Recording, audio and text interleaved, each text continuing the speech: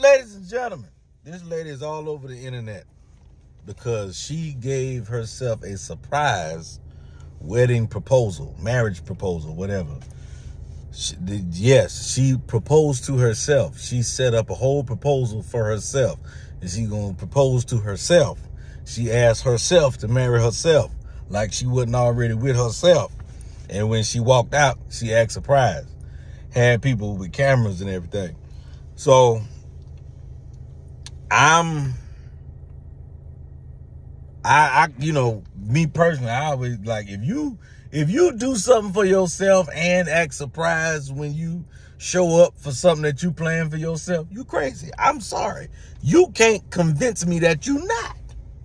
You crazy. That's it. We we ain't got to discuss nothing. Else. You out of your damn mind.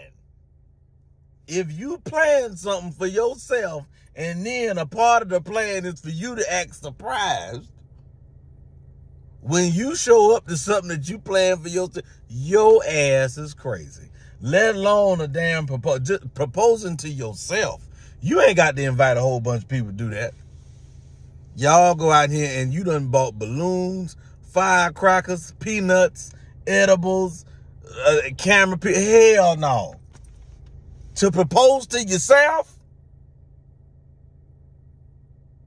No.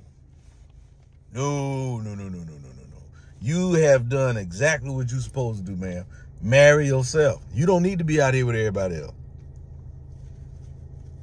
You need to marry yourself and, and, and, and, and take yourself to a nice little place where they got the walls are real soft and padded.